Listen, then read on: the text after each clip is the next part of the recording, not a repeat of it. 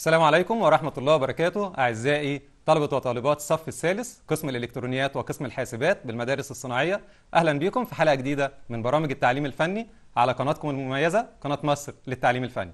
إن شاء الله النهاردة هنتكلم مع بعض في مادة التخطيط وإدارة الإنتاج وهنعمل مع بعض كده مراجعة عامة على المنهج الخاص بالترم الأول. آه، طبعا في البداية يعني مادة التخطيط وإدارة الإنتاج هي مادة مهمة جدا طبعا بالنسبة لطالب التعليم الفني. لأن زي ما إحنا عارفين إن في نسبة كبيرة من طلبة التعليم الفني بعد ما بتخلص دراستهم آه، بيتجهوا لسوق العمل وبيحاولوا إن هم يعملوا مشروعات خاصة بيهم. فبالتالي مادة التخطيط وإدارة الإنتاج آه، بتفتح آه، عقولهم وأفكارهم بحيث إن هو يقدر يخطط للمشروع بتاعه اللي هو عايز ينفذه ويقدر يدير المشروع بطريقة سليمة طبعا مادة التخطيط وإدارة الإنتاج يعني أول درس فيها بيتكلم على دراسة الجدوى وكلمة دراسة الجدوى مفهومها إيه؟ بنقول هي دراسة بنستطيع من خلالها أن نحدد الاستثمارات المطلوبة للمشروع وتحقيق فرص نجاحه والعائد المتوقع منه يعني معناها إيه؟ يعني أي حد عايز يعمل مشروع حتى لو كان مشروع بسيط وبرأس مال صغير. في البداية طبعا قبل ما يبدأ ينفذ المشروع بتاعه وياخد خطوة فعلية ويبدأ يصرف لازم الأول يعمل دراسة علشان يقدر يحدد المشروع بتاعه. هل آه ليه فرص نجاح عالية ولا فرص النجاح بتاعته قليلة؟ هل العائد المتوقع منه آه عالي أو كويس ولا العائد المتوقع ممكن يكون بسيط؟ هل ممكن تقابله مشاكل وهو بينفذ المشروع بتاعه ولا لا؟ ولو قابلته مشاكل هيعرف يحلها ولا لا؟ فلازم في البداية قبل ما ياخد خطوة فعلية في تنفيذ المشروع لازم يعمل دراسة بنسميها دراسة إيه؟ الجدوى. يبقى تاني دراسة الجدوى بنقول هي إيه؟ دراسة نستطيع من خلالها أن نحدد الاستثمارات يعني التكاليف يعني ورأس المال اللي هنحتاجه. الاستثمارات المطلوبة للمشروع والعائد المتوقع منه يعني الأرباح ومدى نجاح هذا المشروع. طبعا يعني من التعريف اللي إحنا قلناه دوت فنقدر نقول أهمية دراسة الجدوى. يبقى إيه هي أهمية دراسة الجدوى؟ نقول التعرف على احتياجات المشروع وفرص نجاحه. وإيه كمان؟ دراسة الجدوى بتعتبر ضمان للجهة الممولة على نجاح المشروع وتحقيق عائد استثمار جيد. يعني معناها إيه؟ أنا لما باجي أعمل مشروع وأعمل دراسة جدوى جيدة دراسة الجدوى دي بتكون ضمان للجهة الممولة. يعني الجهة اللي هي هتدفع رأس المال علشان نعمل بيه المشروع. يعني إيه؟ ممكن مثلا أنا لما أجي أعمل مشروع آخد قرض من البنك. طيب لما أروح آخد قرض من البنك طبعا البنك أول حاجة بيسألني عليها بيقول لي فين دراسة الجدوى بتاعة المشروع؟ وبياخد دراسة الجدوى ديت مني ويبدأ طبعا في طبعا آه، ناس بيكونوا متخصصين بيقدروا إن هم آه، يشوفوا دراسة الجدوى ديت ويبدأوا يحددوا. هل دراسة الجدوى دي بتقول إن المشروع اللي أنا هعمله دوت آه، المشروع دوت جيد وليه فرص نجاح عالية ولا لأ؟ لو كان المشروع كويس فبالتالي البنك هنا بيضمن إن المشروع دوت هينجح وهيحقق أرباح كويسة وبالتالي هيسترد القرض اللي أنا خدته منه. يعني معناه إن أنا هقدر أسدد القرض بعد كده لأن المشروع كويس. لكن طبعا لو كانت دراسة الجدوى دي أي كلام والمشروع دوت مش كويس أو فرص نجاحه قليلة فطبعا البنك بيقول لي إيه؟ آسف. مش هيقدر يديني القرض لأن في الحالة دي ممكن يكون المشروع طبعا فرص نجاحه قليلة فبالتالي ممكن تحصل مشاكل مش هنقدر نسدد القرض فطبعا البنك كده هيحصل مشاكل بينه وبين المستثمر. فيبقى أول خطوة البنك بيطلبها إيه؟ بيطلب دراسة الجدوى تعالوا مع بعض كده آه، نبص على الشاشة ونشوف مع بعض يعني إيه دراسة الجدوى وإيه هي أهميتها. طبعا دراسة الجدوى زي ما إحنا قلنا هي دراسة نستطيع من خلالها أن نحدد الاستثمارات المطلوبة للمشروع والعائد المتوقع منه ومدى نجاح هذا المشروع. طيب إيه هي أهمية دراسة الجدوى أول حاجة التعرف على احتياجات المشروع وفرص نجاحه.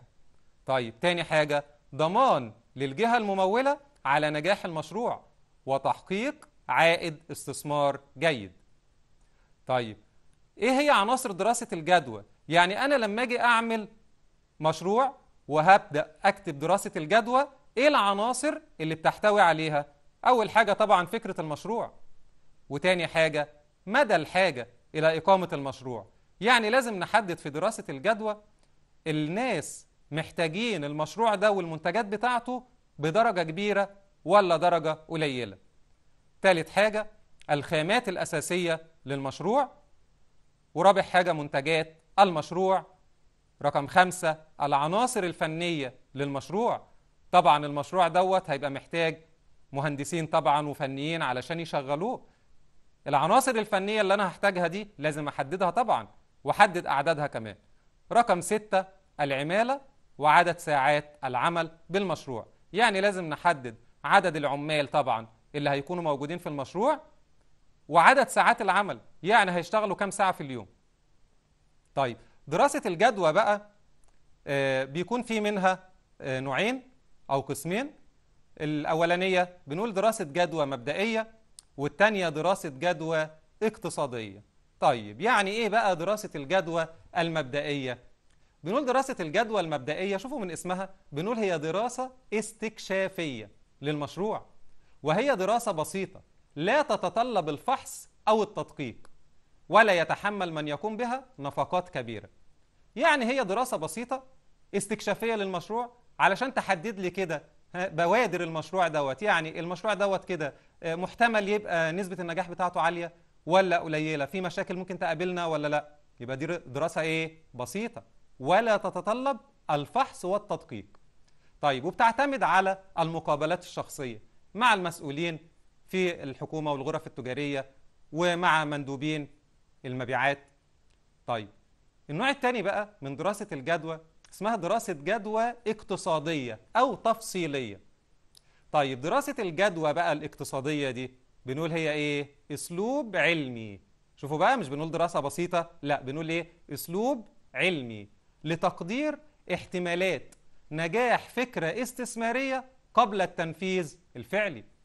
وبيعتمد عليها طبعا اتخاذ قرار الاستثمار المناسب. يعني معناها إيه؟ بعد ما بنعمل الدراسة المبدئية والله لو لقينا كده إن الدراسة المبدئية آه، وضحت إن المشروع دوت يعني كويس وممكن يبقى فيه نسبة أرباح عالية بالتالي بعمل دراسة بقى تفصيلية. والدراسة التفصيلية دي يعني بندرس فيها كل كبيرة وصغيرة عن المشروع وبالتفصيل. وبنحدد فيها طبعا آه، النقاط اللي بتحتاج إلى دراسة إيه؟ تفصيلية. زي عملية الإنتاج وعملية التسويق. يبقى لازم آه، يتم طبعا مناقشتها بطريقة إيه؟ بطريقة تفصيلية. طيب و- وت- وعملية التمويل كمان ما ننساهاش. لازم برضو تتحدد بالتفصيل يعني رأس المال اللي أنا هعمل بيه المشروع. مصدره هيكون إيه؟ ولازم نحدده طبعا في دراسة الجدوى. يعني هل ال- التمويل بتاع المشروع هيبقى رأس المال المملوك لصاحب المشروع ولا هيبقى قرض من البنك ولا هيبقى فيه آه، شركاء معانا؟ فلازم طبعا نحدد الكلام دوت في دراسة إيه؟ الجدوى يبقى كده عندي نوعين أو قسمين من دراسة الجدوى دراسة جدوى مبدئية والنوع الثاني اسمها إيه؟ دراسة جدوى اقتصادية أو تفصيلية. طيب تعالوا نبص مع بعض كده على الشاشة. الجهات القائمة والمختصة بتقديم التسهيلات عن دراسة الجدوى. طيب أنا دلوقتي لما أجي أعمل المشروع وهعمل دراسة الجدوى هل أنا اللي هكتب دراسة الجدوى بنفسي ولا ممكن أستعين بجهات أخرى علشان يساعدوني في عمل دراسة الجدوى؟ طبعا ممكن أنا ما يكونش عندي خبرة كافية فبالتالي بتوجه لمين بقى؟ في عندي جهات حكومية زي إيه الجهات الحكومية؟ أول حاجة وزارة التخطيط تاني حاجة الإدارة المركزية للمعلومات والإحصاء ثالث حاجة الجهاز المركزي للتعبئة العامة والإحصاء. رابع حاجة البنوك التجارية. خامس حاجة وزارة الاستثمار والبنك المركزي.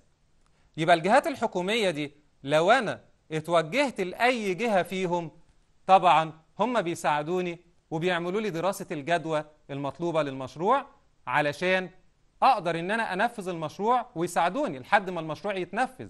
طيب ده في حالة إيه؟ لو أنا ما عنديش خبرة كافية. يبقى أنا ممكن أتوجه لأي جهة من الجهات الحكومية دي. تاني يبقى الجهات الحكومية زي إيه؟ وزارة التخطيط.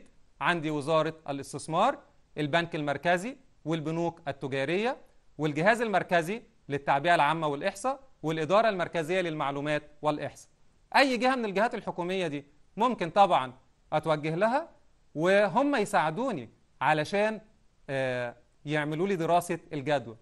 حتى لو أنا ما عنديش فكرة كويسة للمشروع ومعايا رأس مال وعايز أعمل مشروع ممكن أتوجه برضو للجهات دي هم بيساعدوني بقى وبيعرضوا عليا دراسات جدوى مبدئية لمشروعات آه، ويناقشوني فيها.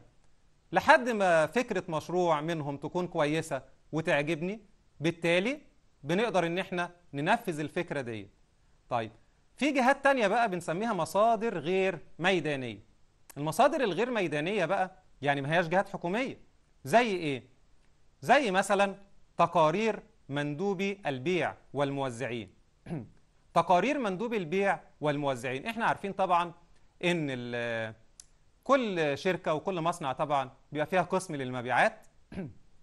وفي طبعا مندوبين مبيعات بيكونوا هم مسؤولين عن عملية الدعاية والتوزيع. وهم طبعا آه، بيبقوا على دراية بالآراء بتاعة العملاء اللي هم اللي هيشتروا المنتجات. بحيث إن لو في طبعا آه، أي ملحوظة أو آراء الناس مختلفة أو بيشتكوا من حاجة معينة في المنتج أو السعر بتاعه مش مناسب أو في مثلا آه، منتجات أخرى منافسة بديلة ليه موجودة في السوق فبالتالي مندوبين البيع بيكتبوا الكلام دوت في تقارير بيحدد فيها مدى رضاء العملاء عن السلعة وآرائهم واقتراحاتهم. فبنقدر إحنا نستفيد من التقارير ده هي وإحنا بنعمل دراسة الجدوى علشان طبعا نراعي النقط المهمة دي في عمل المشروع بتاعنا. طيب في حاجة تانية من المصادر الغير ميدانية. زي إيه؟ زي المعلومات والبحوث السابقة. يعني إيه؟ يعني أي معلومات أو أي دراسات تم نشرها من أي جهة بقى؟ سابقا. زي إيه مثلا؟ زي المعلومات والدراسات اللي بتنشرها الجامعات والمعاهد. زي ال- المعلومات والدراسات والأبحاث آه، اللي بتنشرها آه، اللي بتنشرها الصحف والمجلات. آه، زي مثلا المعلومات والدراسات اللي بتبقى منشورة في المراجع العلمية. طيب كل ال- الدراسات دي في ناس سبقوني وعملوها قبل كده. طب ما أنا أستفيد منها. ولا لازم إن أنا أروح أدور على المعلومات دي من بدايتها تاني وآخد وقت طويل عبال ما أعمل الدراسة دي؟ طالما إن في دراسات وأبحاث معمولة قبل كده ممكن إن أنا أستفيد منها. طيب تعالوا نبص مع بعض كده على الشاشة. يبقى بنقول توجد مصادر غير ميدانية زي المعلومات والبحوث السابقة. تاني حاجة تقارير مندوبي البيع والموزعين. تالت حاجة البيانات والإحصاءات الرسمية. ودي بتتمثل في البيانات والإحصاءات آه، اللي بتنشرها طبعا الجهات والهيئات أو المؤسسات آه، الصناعية والزراعية والتجارية والجهات الحكومية. مثل مثلا آه، تعداد السكان. ما هو تعداد السكان دوت إحصائية. خلاص؟ وتصنيف طبعا السكان على حسب الموقع الجغرافي وعلى حسب ال- السن والمهنة وعلى حسب المستوى الاقتصادي والمستوى الاجتماعي. كل الحاجات دي طبعا بقدر أستفيد منها في عمل دراسة الجدوى علشان نراعيها في المشروع بتاعنا.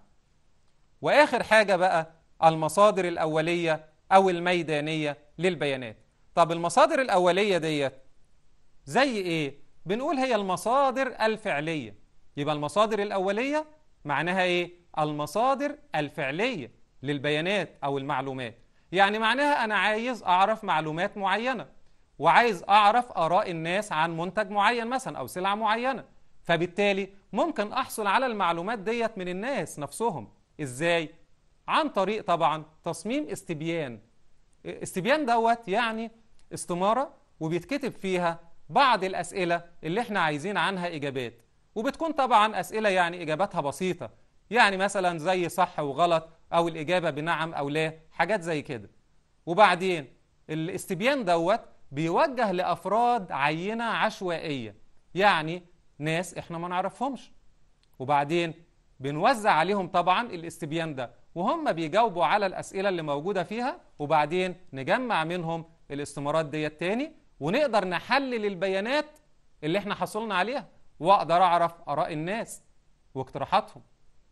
يبقى دي كده بنسميها إيه؟ المصادر الأولية أو الميدانية. طيب عندي بعد كده في سؤال بقى صح وغلط على الجزئية اللي إحنا خدناها دي. بيقول لي إيه؟ ده علامة صح أمام العبارة الصحيحة وعلامة خطأ أمام العبارة الخاطئة.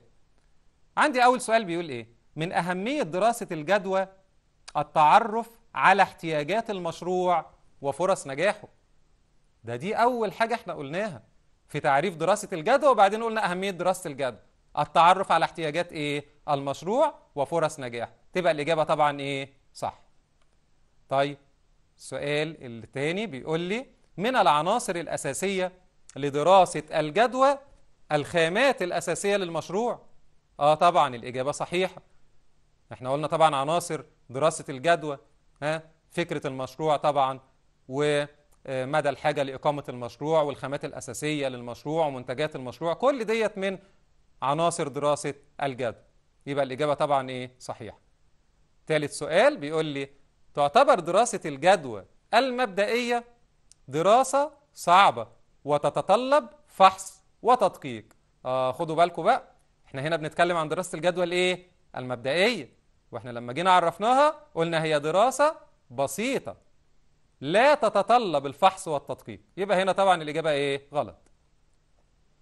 طيب السؤال اللي بعديه بيقول لي من المصادر الحكومية التي تقوم بتقديم تسهيلات عن دراسة الجدوى البنك المركزي. آه طبعا الإجابة صحيح إحنا لسه قايلينها حالا. طيب رقم خمسة تعتبر المعلومات والبحوث السابقة من المصادر الحكومية. آه لا دي المعلومات والبحوث السابقة من المصادر الغير ميدانية. تبقى الإجابة إيه؟ خطأ. طيب في سؤال تاني بيقول لي اختار من المجموعة واحد ما يناسبها من المجموعة اتنين. يعني وصل يعني. فعندي طبعا آه زي ما إحنا شايفين عمودين.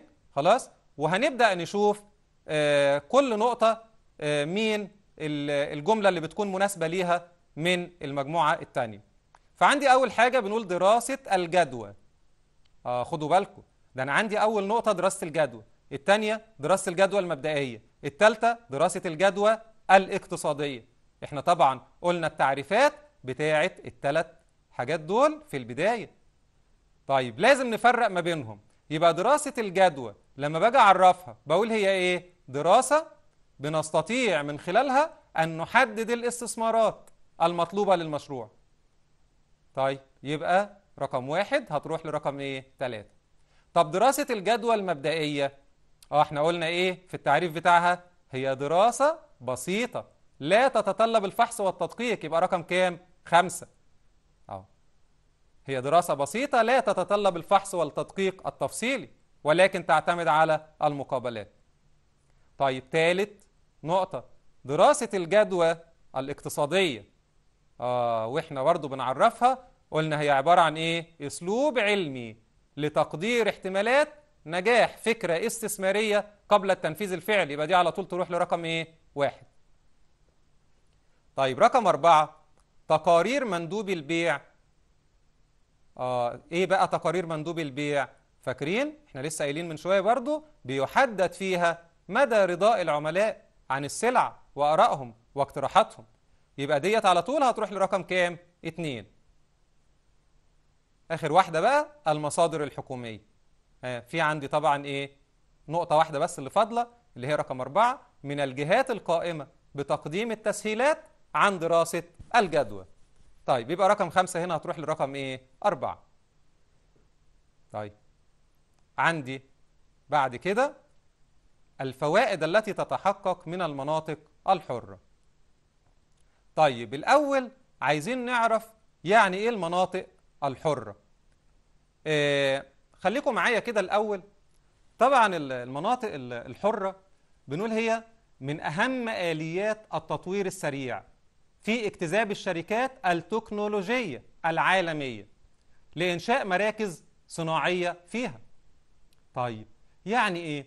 يعني الدولة بتوفر طبعا في المدن وخاصة في المدن الجديدة بتوفر ال- الأرض وبتوفر الطرق وتوفر كل الخدمات وتبدأ آه، آه، تقول للشركات العالمية التكنولوجية اللي هي الشركات الحديثة تعالوا اعملوا مصانع ومشروعات كبيرة عندنا هنا في المكان دوت. طيب إحنا هنستفيد إيه؟ يعني طبعا الشركات الكبيرة التكنولوجية دي إحنا ما عندناش زيها. أو المصانع الكبيرة ديت بتعمل بتكنولوجيا متطورة مثلا أو حاجات إحنا مش موجودة عندنا. طيب إحنا بقى لما نجتذب الشركات العالمية دي وتعمل مراكز صناعية هنا عندنا في المنطقة ديت إحنا هنستفيد إيه؟ طيب يبقى كده بنقول فوائد المناطق الحرة أول حاجة توفير فرص عمل بدخول مرتفع. يعني طبعا المصانع اللي هيتم إنشائها دي مين اللي هيشتغل فيها؟ مش هم طبعا آه، ولادنا المصريين سواء بقى إذا كانوا مهندسين أو فنيين. طبعا هيشتغلوا وهياخدوا آه، مرتبات تكون عالية. طيب يبقى كده أنا وفرت فرص عمل. طيب تاني حاجة عندي ال- ال- اللي هي طبعا المناطق الحرة زي ما بنقول هي بتوفر فرص عمل وبترفع من الاقتصاد المحلي. طيب يبقى الدولة كمان هتستفيد. طب إيه كمان؟ آه، المناطق الحرة ديت بينشأ طبعا بجوارها آه، مصانع آه، بتكون متوسطة ومصانع صغيرة علشان توفر احتياجات المصانع الكبيرة دي. فبالتالي يبقى أنا كده بدل المصنع الكبير دوت ما هو كان واحد لا هينشأ جنبه بقى إيه؟ مصانع تانية صغيرة علشان توفر له المستلزمات وإذا كانت مثلا قطع غيار أو حاجات بسيطة علشان احتياجات المصانع الكبيرة دي. طيب تعالوا نبص مع بعض كده على الشاشة. يبقى عندي فوائد المناطق الحرة أول حاجة توفير فرص عمل بدخول مرتفعة. تاني حاجة إنشاء كوادر بخبرات عالمية. زي ما إحنا قلنا دلوقتي اللي هيشتغل في المصانع والشركات دي هم المهندسين والفنيين بتوعنا اللي هم المصريين. فبالتالي هياخدوا خبرة عالمية ما كانوش طبعا هيكتسبوها إلا لو اشتغلوا في المصانع الكبيرة دي.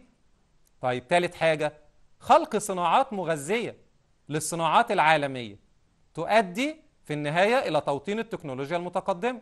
زي ما إحنا قلنا خلق صناعات مغذية للصناعات العالمية. يعني المصنع الكبير ده هو محتاج طبعا قطع غيار ومحتاج مستلزمات. بالتالي هيجيبها منين؟ يبقى في مصانع صغيرة تانية هتنشأ جنبه علشان تغذي المصنع الكبير ده. رقم أربعة إنعاش الاقتصاد المحلي. زي ما إحنا قلنا بما يقدمه من خدمات وسياحة. يبقى معنى كده الاقتصاد المحلي طبعا هيستفيد في النهاية بالانتعاش طبعا والاقتصاد بينمو. طيب في عندي بقى حاجة تانية اسمها الصناعات الصغيرة. الصناعات الصغيرة بقى يعني معناها إيه؟ المشروعات اللي بيتم إنشائها برأس مال محدود أو رأس مال صغير. طيب الصناعات الصغيرة دي من خصائصها أول حاجة تعتبر وسيلة فعالة للاستثمار الجغرافي الصناعي. يعني معناها أن الصناعات الصغيرة دي بتتكيف على حسب المنطقة اللي موجودة فيها. يبقى مثلا لو أنا عايز أعمل مشروع في منطقة ريفية فبالتالي هشوف إيه المواد الخام المتوفرة وإيه المشروع اللي ممكن أعمله. مثلا زي مصنع صغير للأغذية المحفوظة زي مثلا منتجات الألبان زي العصائر يعني حاجات زي كده. بحيث طبعا المنطقة متوفر فيها المواد الخام اللي أنا هستخدمها. طيب تاني حاجة تستطيع أن تتكيف وتتميز بسهولة التطويع طبقا لاحتياجات الأسواق والعملاء. يعني معناها أن الصناعات الصغيرة دي المنتجات اللي هي بتصنعها ممكن أغير فيها وأغير في مواصفاتها بسهولة طبقا لاحتياجات الأسواق. طيب ثالث حاجة تتيح فرص كبيرة للعمالة. بتكلفة رأس مالية منخفضة. آه يعني طالما أنا أنشأت صناعات حتى لو كانت صناعات صغيرة بالتالي هتوفر فرص عمل. وبتكلفة رأس مالية منخفضة لأن الصناعات الصغيرة دي ما بتحتاجش رأس مال كبير علشان يتم إنشائها. رابع حاجة تعتبر حلقة الوصل بين المشروعات الكبيرة ومصادر الخامات الأولية. زي ما إحنا كنا بنقول من شوية المصانع الكبيرة بتحتاج طبعا لمستلزمات ومثلا قطع غيار وأجزاء بتكون صغيرة بتحتاجها في التصنيع. فبالتالي مين بقى اللي بيوفر المستلزمات وقطع الغيار والحاجات الصغيرة دي؟ بتكون صناعات إيه؟ أو مصانع بتكون صغيرة. يبقى الصناعات الصغيرة تعتبر حلقة الوصل بين المشروعات الكبيرة وبين مصادر الخامات. يعني تاخد المواد الخام تصنعها تعملها قطع غيار مثلا أو تعملها أجزاء صغيرة وبعد كده تديها للمصانع الكبيرة علشان تستفيد منها وتستخدمها في التصنيع. خامس حاجة تقوم على توفير احتياجات الصناعات الكبيرة من الأجزاء والمكونات. طيب ما هي العوامل التي تؤدي إلى فشل المشروعات في تسويق منتجاتها؟ الله هو دلوقتي أنا ممكن أعمل مشروع وممكن يفشل في تسويق المنتجات. طيب إيه السبب؟ أول حاجة عدم دراسة السوق. يعني إحنا طبعا في البداية كنا اتكلمنا وقلنا إيه؟ دراسة الجدوى. يبقى أهم خطوة لازم أعمل دراسة جدوى تكون كويسة في البداية. ليه؟ علشان أدرس السوق كويس وأقدر أعرف هل الناس محتاجين المنتجات بتاعة المشروع دوت ولا لأ أو محتاجينها بدرجة كبيرة ولا قليلة. وبرضو أدرس السوق وأعرف إذا كان فيه منتجات بديلة منافسة ولا لأ. يبقى أنا في البداية لازم أعمل دراسة إيه؟ جدوى كويسة وأدرس السوق كويس. طيب لو أنا بقى ما عملتش دراسة جدوى كويسة ما عملتش دراسة عن السوق فبالتالي المشروع بتاعي معرض لأنه يفشل في تسويق المنتجات. يعني ممكن يكون المشروع كويس ويعمل وينتج المنتجات بتاعته لكن إحنا مش عارفين نسوقها مش عارفين نبيعها. طيب يبقى أول حاجة طبعا زي ما قلنا عدم دراسة السوق. تاني حاجة عدم وجود نظام لمعلومات التسويق. يعني إيه عدم وجود نظام لمعلومات التسويق؟ طبعا المفروض أي مصنع أو أي مشروع بيبقى فيه قسم القسم دوت بيكون خاص بالمبيعات. يبقى هو المسؤول عن الدعاية وعن الإعلانات وعن التسويق. طب لو أنا بقى ما عنديش في المشروع بتاعي آه، قسم يقوم بالعملية ديت أو مش عارفين إن هم ما عندهمش الكفاءة عشان يقوموا بعمل دعاية أو عملية التسويق. فبالتالي برضو مش هنقدر إن إحنا نسوق المنتجات بتاعتنا. طيب ثالث حاجة ممكن تكون كمية الإنتاج أكبر مما يستوعبه السوق. يعني أنا دلوقتي بنتج منتجات وكويسة جدا ولكن الكميات كبيرة اللي أنا بنتجها. فالناس بتشتري جزء منها وليكن مثلا نصها لكن النص التاني ما حدش محتاجه. فبيفضل عندي في المخازن. فبالتالي كده المشروع بتاعي هيخسر. يبقى كمية الإنتاج أكثر مما يستوعبه السوق. طيب دي برضو مشكلة. تؤدي إلى فشل المشروعات في تسويق منتجات. طيب إيه كمان؟ ممكن طبعا تكون ال- الجودة منخفضة. يعني أنا بنتج منتجات بستخدم خامات رديئة. عملية التصنيع نفسها آه، مفيش رقابة عليها كويسة فبيطلع فيه أخطاء أو عيوب في المنتج. فبالتالي الناس مش هترضى تشتريه. طيب النقطة اللي بعد كده عدم مطابقة المنتج أو السلعة للمواصفات. يعني الناس محتاجة منتجات بمواصفات معينة وأنتج وأنا بنتج مواصفات مختلفة. طب ما الناس مش محتاجاها الناس مش عايزينها فبالتالي مش هيشتروها. فده برضه هيؤدي إلى فشل إيه؟ المشروع في تسويق المنتجات. طيب تعالوا مع بعض نبص كده على الشاشة ونشوف أول حاجة زي ما قلنا عدم دراسة السوق. تاني حاجة عدم وجود نظام لمعلومات التسويق. تالت حاجة كمية الإنتاج أكثر نسبيا مما يستوعبه السوق. رابع حاجة ارتفاع تكاليف الإنتاج.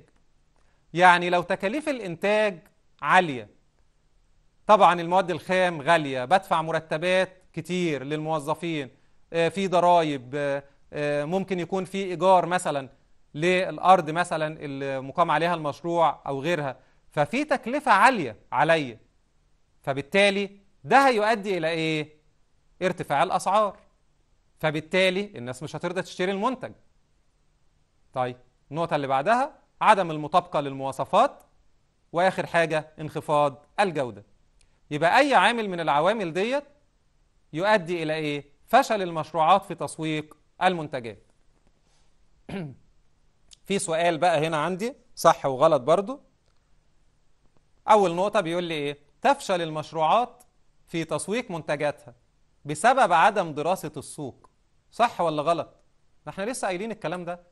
ها؟ طبعا الإجابة إيه؟ صحيح تاني حاجة التخصيص هو أحد المبادئ الاقتصادية الحديثة في الإنتاج لرفع الإنتاجية للفرد داخل الشركة.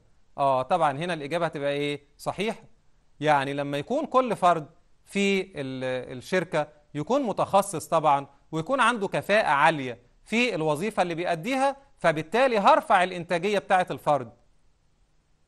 ثالث سؤال بيقول لي التسويق عبارة عن عملية لا تهتم بتحديد رغبة ما عند العميل. آه هنا طبعا الإجابة خطأ. ليه بقى؟ لأن التسويق عبارة عن عملية تهتم بتحديد رغبة العميل والعمل على تلبية هذه الرغبة.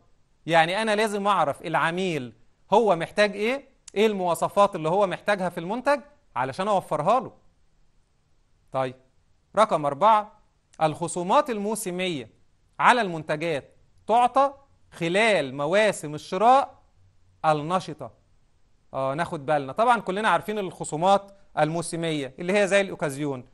طب الخصومات دي بتتعمل على المنتجات خلال مواسم الشراء النشطة يعني في الموسم بتاعها والناس بتشتري المنتجات ولا في نهاية الموسم بتاع الشراء؟ ها يبقى طبعا الإجابة هنا هتبقى خطأ لأن الخصومات الموسمية على المنتجات بتعطى خلال مواسم الشراء الغير نشطة. طيب النقطة اللي بعديها بيقول لي إيه؟ الضوضاء. هو كل صوت عالي غير مألوف أو صوت مزعج يمكن التحكم فيه. آه هنا طبعا الإجابة دي كلها لحد صوت مزعج كده صح. لكن آخر كلمة يمكن التحكم فيه لا ما أنا لو قدرت أتحكم فيه ما تبقاش ضوضاء. يبقى هنا الإجابة إيه؟ خطأ.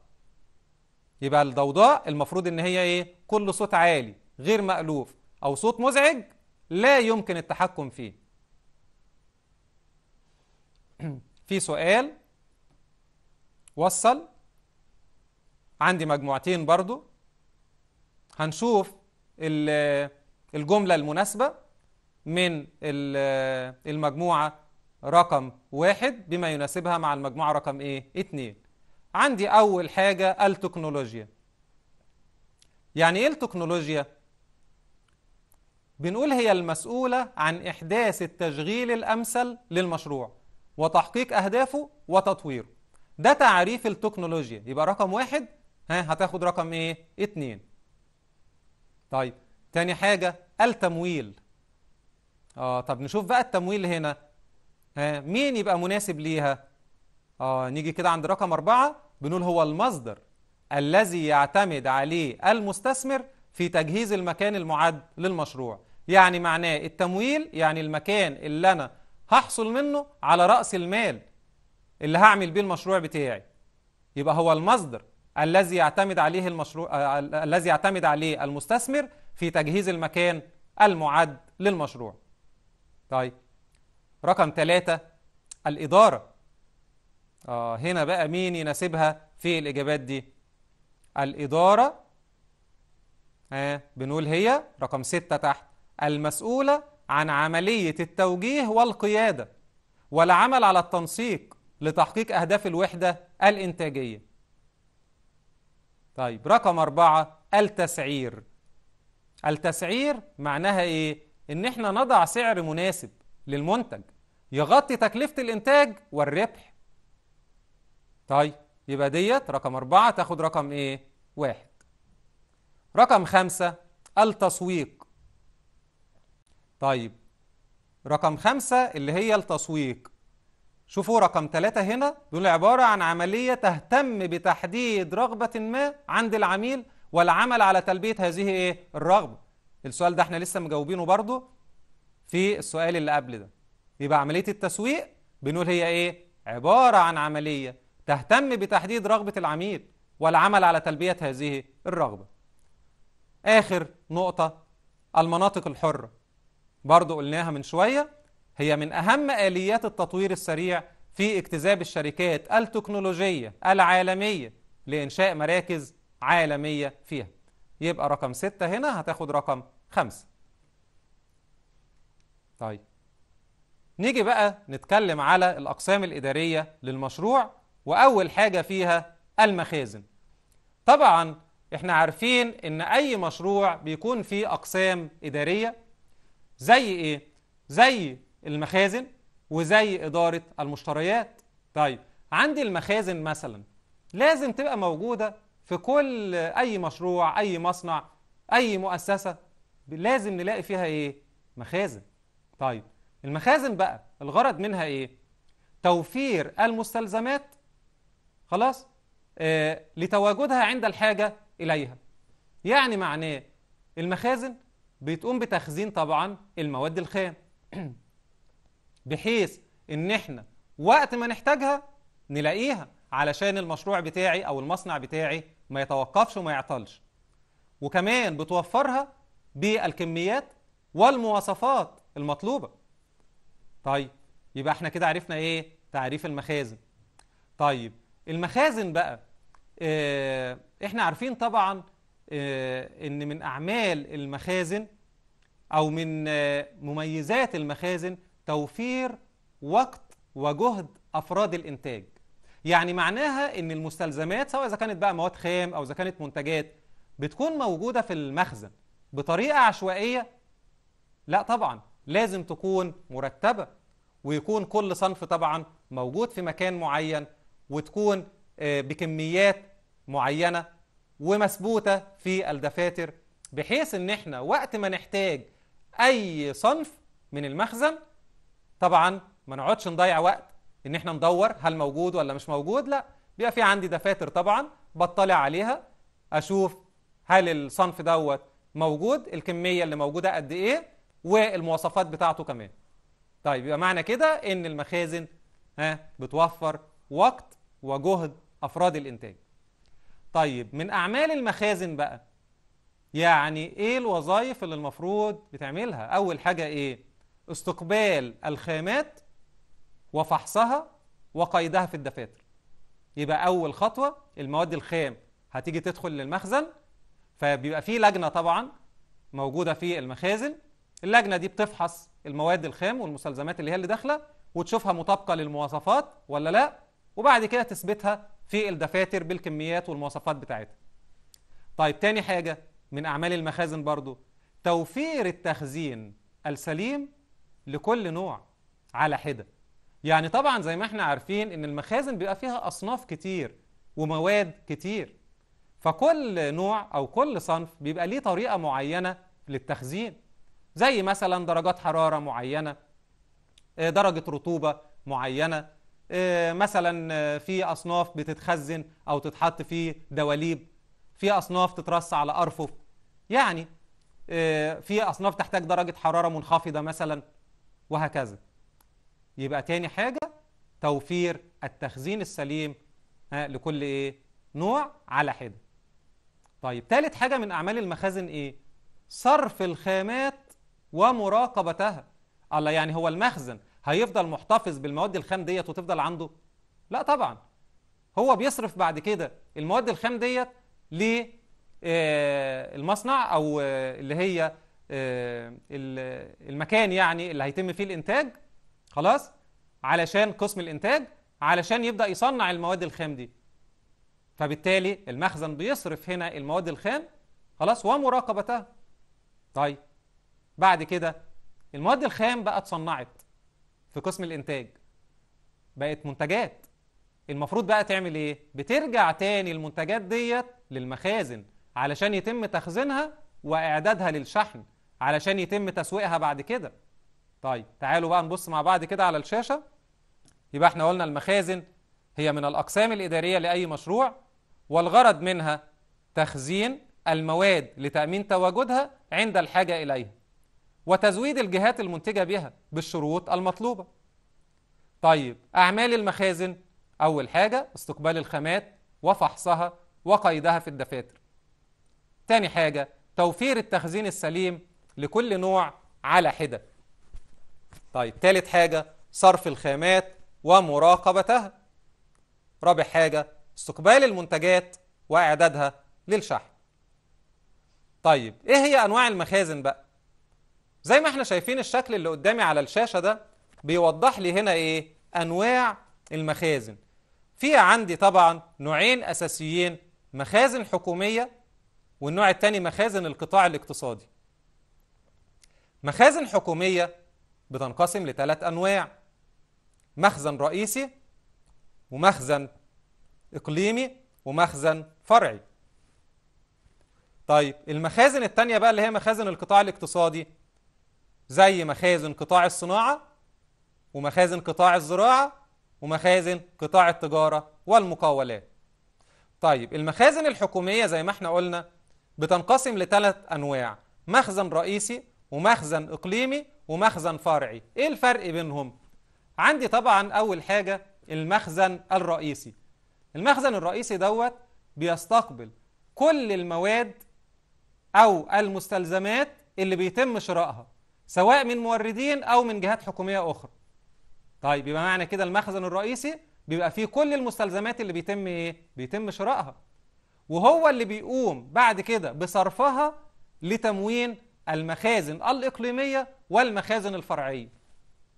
يبقى تاني المخزن الرئيسي هو المخزن اللي بيتم فيه استلام كل المواد اللي بيتم شرائها سواء من موردين أو من جهات حكومية أخرى وبعد كده بيقوم بصرفها لتموين المخازن الإقليمية والمخازن الفرعية طيب المخزن الإقليمي بقى معناه إيه؟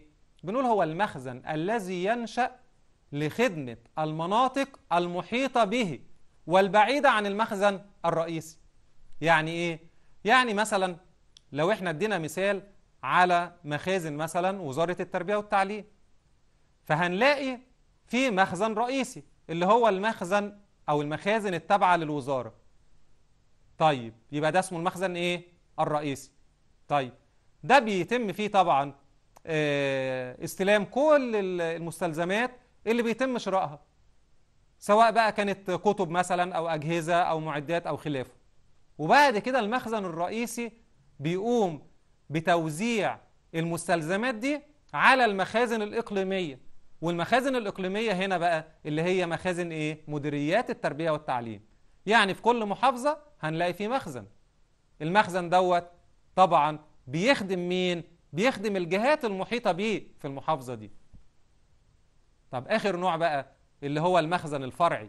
والمخزن الفرعي هنا ده بيكون آه يعني موجود في الإدارات خلاص وبيستلم المستلزمات بتاعته أو احتياجاته من المخزن الإقليمي أو من المخزن الرئيسي زي المخازن التابعة للإدارات التعليمية. يبقى إحنا كده عرفنا الثلاث أنواع من المخازن الحكومية. مخزن رئيسي مخزن إقليمي مخزن فرعي.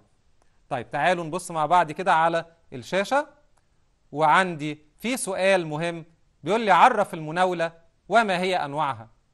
المناولة بنقول هي الحركة الدائبة للأصناف والنشاط الأساسي داخل المخازن من ساعة وصول المواد إلى المخزن إلى ساعة خروجها منه. إحنا طبعا عارفين إن المواد أو المستلزمات سواء بقى كانت مواد خام أو منتجات أو غيرها بتدخل المخزن بتتنقل من مكان لمكان. طيب فكلمة أو المناولة يبقى معناها الحركة الدائبة أو المستمرة يعني للأصناف داخل المخازن. طيب المناولة بتنقسم لنوعين. مناولة يدوية وتاني نوع مناولة آلية.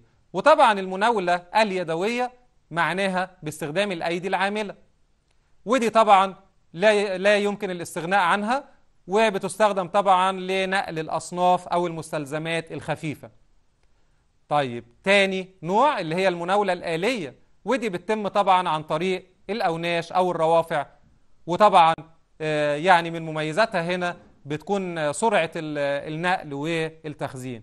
لأن طبعا بتنقل كميات كبيرة طبعا وممكن تكون أوزانها كبيرة وفي أوقات صغيرة يعني ما تاخدش وقت. طيب إيه هي عناصر المشروعات؟ أول حاجة رأس المال. ورأس المال معناه كل المبالغ النقدية اللازمة لإقامة المشروع. يبقى أي مبالغ هنحتاجها علشان نقيم المشروع بتاعنا خلاص بنسميها رأس الإيه؟ المال. وبينقسم إلى قسمين رأس مال ثابت ورأس مال عامل. رأس المال الثابت زي الأرض والمباني والمعدات والتجهيزات ورأس المال العامل يعني الخامات والأجور أجور العمال والتسويق. يعني معناها إيه؟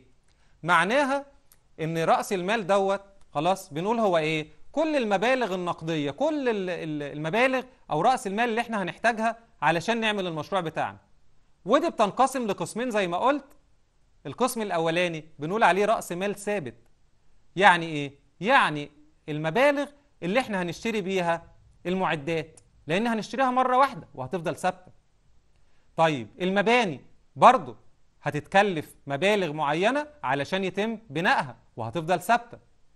الأرض بتاعة المصنع أو بتاعة المشروع اللي إحنا هنشتريها برضه هنشتري الأرض ديت مرة واحدة وهتفضل ثابتة. يبقى معنى كده المبالغ دي بنسميها إيه؟ رأس مال ثابت. رأس المال العامل بقى يعني معناها فلوس شغالة في السوق. يعني معناها الفلوس دي بصرفها وبترجع لي تاني بالأرباح بتاعتها والايه والمكسب. زي إيه؟ زي الخامات. تمن الخامات. أنا لما بشتري خامات الخامات دي بتتصنع. وبعد كده بتتباع وتجيب لي أرباح كمان. طيب يبقى معنى كده إن دي فلوس إيه؟ شغالة. أجور العمال نفس الكلام برضو. ما هو العمال والموظفين اللي شغالين بيتقاضوا مرتبات. الفلوس اللي بياخدوها دي هم بيشتغلوا وبيصنعوا وبينتجوا والمنتجات بتتباع. وبعدين الفلوس اللي اتصرفت بترجع لي تاني بالأرباح بتاعتها. يبقى زي ما قلنا الخامات وأجور العمال وعملية التسويق كمان. طيب عندي بعد كده من عناصر المشروعات الآلات والتجهيزات. الآلات والإيه؟ والتجهيزات. يعني المعدات والماكينات اللازمة لإنتاج السلعة. طيب من عناصر المشروعات كمان العمالة. العمال يعني وهم كل الأفراد اللازمين لتشغيل المشروع. عندي بعد كده التكنولوجيا. والتكنولوجيا بنقول هي المسؤولة عن إحداث التشغيل الأمثل للمشروع وتحقيق أهدافه وتطويره مع أحدث مستلزمات العصر. يبقى التكنولوجيا تاني ودي يمكن بتيجي في سؤال منفصل لوحده وإحنا حليناها في الأسئلة اللي قبل كده. بنقول التكنولوجيا هي إيه؟ المسؤولة عن إحداث التشغيل الأمثل للمشروع وتحقيق أهدافه وتطويره. مع أحدث مستلزمات العصر طيب أنواع المشروعات من حيث تنظيم الإنتاج والشكل الإيه؟ القانوني ممكن أصنف المشروعات بكذا طريقة طيب لو جينا نصنف المشروعات من حيث نظام الإنتاج فهنقول إيه؟ أول حاجة نظام إنتاجي علمي ونظام الصناعة العائلية نظام الحرف اليدوية ونظام الورش. يبقى ده أنواع المشروعات من حيث نظم الإنتاج.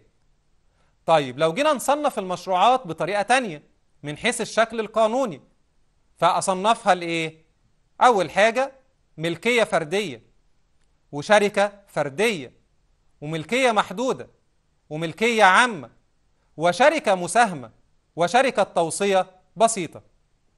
طيب خدوا بالكم إن إحنا ممكن نصنف المشروعات كمان بطرق تانية مختلفة زي ممكن أصنف المشروعات من حيث الشكل. آه شايفين كده الشكل اللي قدامنا الصورة اللي قدامنا على الشاشة. ممكن أصنف المشروعات من حيث الشكل ومن حيث الهدف ومن حيث نظام الإنتاج ومن حيث الشكل القانوني. طيب لو قلنا أول حاجة من حيث الشكل يبقى أنا أصنف المشروعات لإيه؟ مشروعات ها صناعية. مشروعات زراعية مشروعات خدمية مشروعات ها خاصة بالتربية والتعليم. من حيث الهدف يبقى في مشروعات تنفيذية لمشروع كبير وفي مشروعات صغيرة لتحقيق الربح والدخل. وممكن يبقى في عندي مشروعات صغيرة لإشباع الحاجات عشان توفر المنتجات أو الايه الاحتياجات اللي الناس عاوزينها. مشروعات صغيرة لإيجاد فرص عمل. عشان توفر فرص عمل.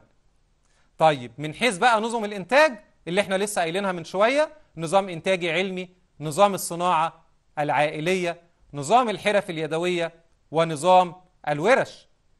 من حيث الشكل القانوني بصنف المشروعات لملكية فردية شركة فردية وملكية محدودة وشركة توصية بسيطة وملكية عامة وشركة مساهمة. طيب ما هي الحلول المقترحة لحل مشاكل الديون المتعثرة؟ إحنا عارفين طبعا إن ممكن بيقابل المستثمر أو صاحب المشروع ممكن يقابله بعض المشاكل وممكن يجي في وقت هو كان واخد قرض مثلا من البنك وحصل له مشاكل مش قادر إن هو يسدد القرض دوت أو يسدد الفوائد. فإيه اللي بيحصل؟ الفوائد اللي على القرض بتفضل تتراكم وتزيد لحد ما يبقى الفوائد اللي عليه أكتر من القرض نفسه. فبالتالي هنا بتبقى مشاكل كبيرة وبتؤدي طبعا لأن مصانع كتير ممكن تقفل والموظفين والعمال اللي فيها بيسيبوا أشغالهم طبعا وبيمشوا فبتبقى مشاكل كبيرة. وفي النهاية برضه البنك مش قادر ياخد الفلوس بتاعته لأنه بيحجز على المصنع والمصنع عليه ديون أصلا والبنك مش هيقدر برضه يحصل الفلوس بتاعته أو القرض فعلشان كده في حلول مقترحة بقى لحل مشاكل الديون الإيه؟ المتعثره دي. كان أول حاجة بنقول إيه؟ بيع الأصول وإعادة استئجارها. يعني يعني بنبيع الأصول اللي هي المباني مثلا أو المعدات ونستأجرها من الشركة اللي بعناها لها. والفلوس اللي إحنا خدناها نسدد بيها الإيه؟ القرض والمصنع ما زال شغال وبيكسب. ولكن أنا ببقى مستأجر. يعني المكن أو الأرض بقيت إيه؟ مستاجرها تاني حاجة وضع سقف لفوائد الديون المتراكمة. يعني بدل ما الفوائد بتفضل تتراكم لا الدولة بتحدد آه سقف للفوائد دي وما تزيدش عنها. وآخر حاجة تحويل الديون إلى حصص في ملكية الشركات. يعني البنك ممكن ياخد بالقرض بتاعه أو النسبة بتاعته ياخد بيها حصص في ملكية إيه؟ الشركات. آه يمكن كده يعني إحنا وصلنا لنهاية الحلقة النهارده. آه وعملنا مراجعة آه عامة كده في صورة أسئلة ويمكن يعني معظم الأسئلة ديت بتتكرر في الامتحانات. إن شاء الله برضو هنبقى نعمل مراجعة تانية على الجزء الخاص بالترم الثاني والمقايسات تابعونا ويا رب يوفقكم وأشوفكم على خير إن شاء الله. ولو في أي سؤال أو استفسار تابعونا على صفحتنا على الفيسبوك أو على اليوتيوب قناة مصر للتعليم الفني. وهنجاوبكم إن شاء الله في الحلقات اللي جاية. ربنا يوفقكم. والسلام عليكم ورحمة الله وبركاته.